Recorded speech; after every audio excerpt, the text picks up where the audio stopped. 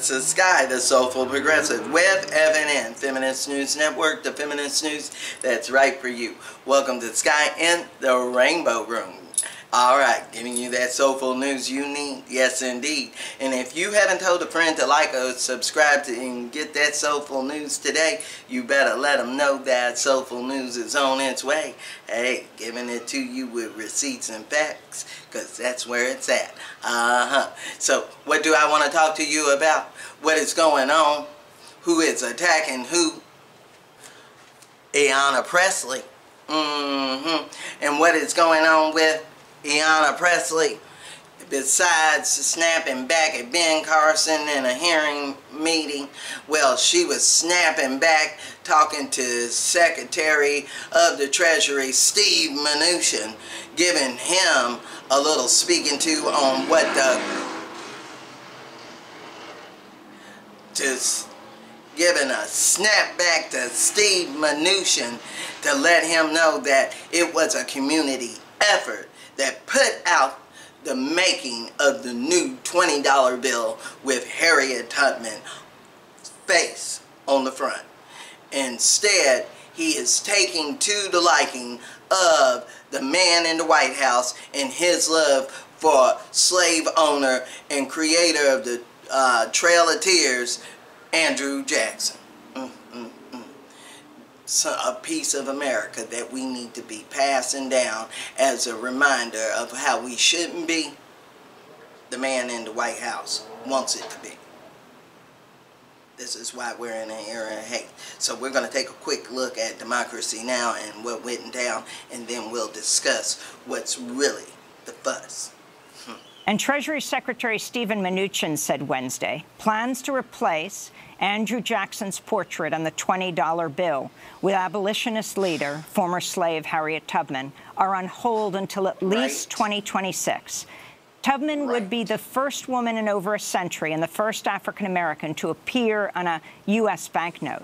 This is Massachusetts Absolutely Democrat, right. freshman Congressmember Ayanna Pressley questioning Mnuchin on Wednesday.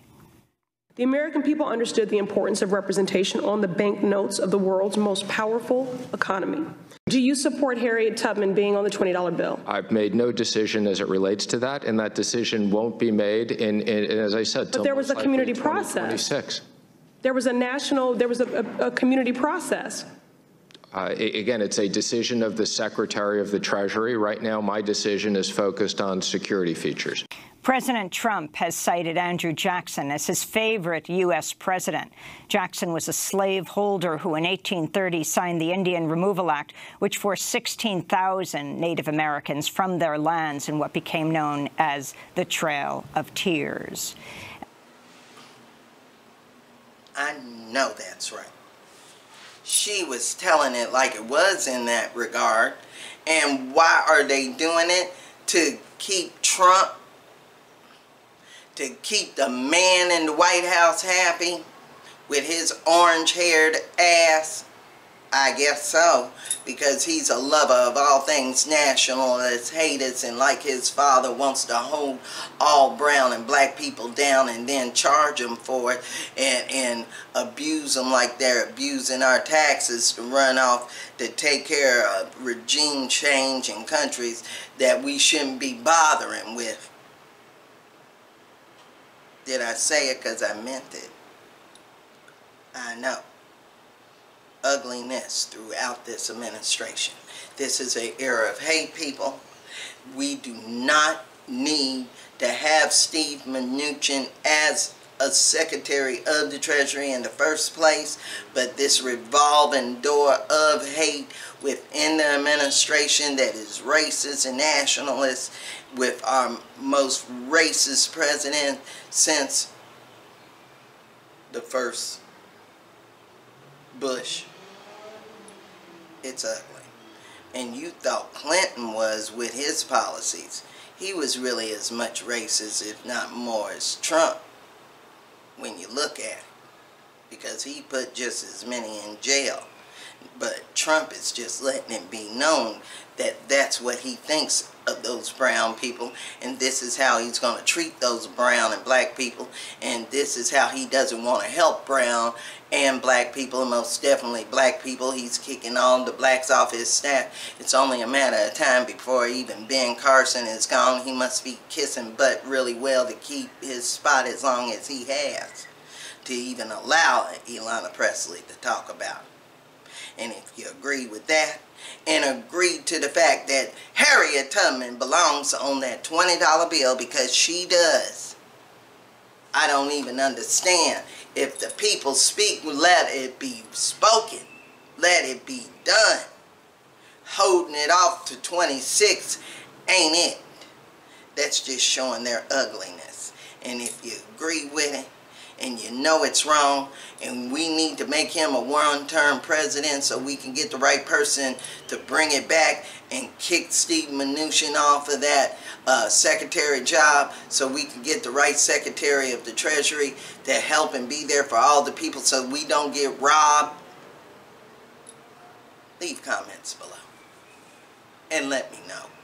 And you can always contact me at feministnewsn at gmail.com. Don't forget to like and subscribe to the YouTube channel and the Facebook page. And remember, I'm that Soulful Progressive on Twitter. And I also have that Feminist News Feminism is for Everyone T. Contact me and I can send you that PayPal link for that one woman show in case you want to donate.